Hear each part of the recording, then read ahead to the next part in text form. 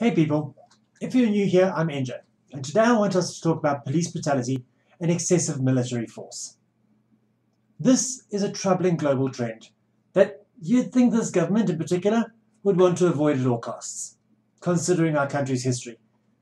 Unfortunately, what we have instead are government officials jumping on the Black Lives Matter bandwagon, while police and military personnel run wild, trampling the rights of citizens and disregarding the Constitution all with the apparent blessing of the courts, including, I'm sad to say, the Constitutional Court. So, Mr. President, I'm looking at you. Care to explain what the hell is going on?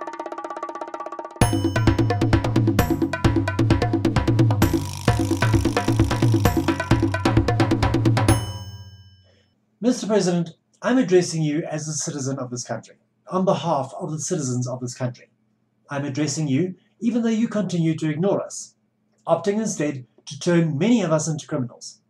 I'm addressing you because even though I supported you when the lockdown was called, I no longer feel your leadership is in the best interest of me and my fellow South Africans.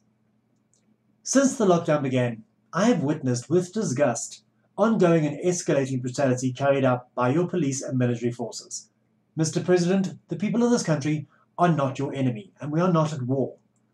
Your forces are meting out the same kind of aggression that apartheid era police inflicted on the freedom fighters of old, and I would have thought that this government would have learned from past experience and would strive to treat their citizens better than the Nat government did. Are unarmed South Africans so scary that being manhandled for such heinous offences as surfing or dog walking or peacefully standing in front of their cafes is somehow seen as the right and best course of action?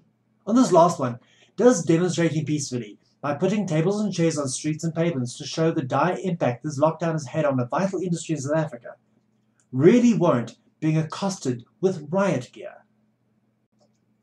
What is wrong with this picture? When did this become an acceptable response to peaceful protests by tax-paying citizens of this country, many of whom are on the verge of bankruptcy through no fault of their own? I have to ask, Mr. President, are you and your ministers really making South Africa better with your leadership? Is this really the new dawn you promised us? You asked us to buy into your Thuma Mina initiative. You asked us to say, send me. And then you send the police and the army to beat us down. If anyone speaks out against your government, they're ra- uh, labeled racists or troublemakers, depending on their skin color. Well, let me assure you that race has nothing to do with your failing us. Your government has proven to be an equal opportunity disappointer. Your ministers have sought only to line their pockets at the expense of us citizens, and we have nothing more to give. Our taxes are squandered or stolen. Our bank accounts are bare, thanks in large part to an unprecedented level of unemployment brought on us by this government's poorly thought out approach to the pandemic. All the while, your police and defense forces seek to oppress the people of this country on your behalf for the most asinine of reasons while you appear on television and address us in a tone that implies we are responsible for the looting of the crisis response funds. No, no, no, Mr. President. We kept our side of the bargain.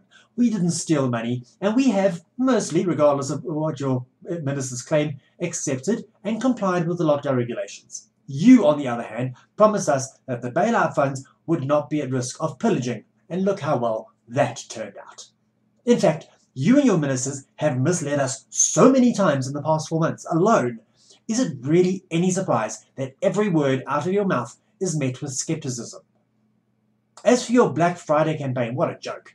How can you and your ruling party, where an ANC member heads up the police, where an ANC member heads up the army, come out in opposition to police and military heavy handedness when everything they do is done in your name? Seriously, no member of your government has the right to stand up and say that they support the Black Lives Matter movement when your security forces hand out the same kind of brutal atrocities against ordinary South Africans as the United States Police bring, brings against its own people of colour.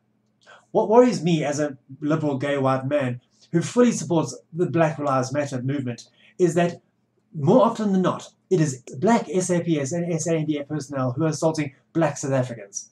Not once during the entire lockdown have I seen a military patrol in my suburban, actually, no, let's call it what it is, my historically white neighborhood. In fact, the first time I saw any police or military action outside of the townships or predominantly black areas like Yeoville was when your officers attacked peaceful protesters with stun grenades and water cannons on the streets of Cape Town. But I digress. Police officers are called to serve and protect, not brutalize and kill. Politicians who have been elected by the people are called to serve the people, not serve themselves. Surely, weeding out the corrupt and the incompetent should be a higher priority than hunting down drinkers, smokers, and people who are desperately trying to well, simply provide for their family. Mr. President, I'm tired. I know I speak for many when I say that we are growing weary of this wasteland that you and your government are turning our beautiful country into. I once stood proud of South Africa, despite its many problems, vehemently calling out the naysayers. But now I find myself broken by a sense of hopelessness at how grim the future of the hard-working people of this country has become. While racial inequality is still very much a concern in South Africa, it seems like your government's approach to levelling the playing field is not to uplift the disadvantaged and destitute, but to bring us all to our knees. If this was your intention, well done, sir. Well done. But that's just my take on the matter. Use it, don't use it. Either way, we'll chat soon.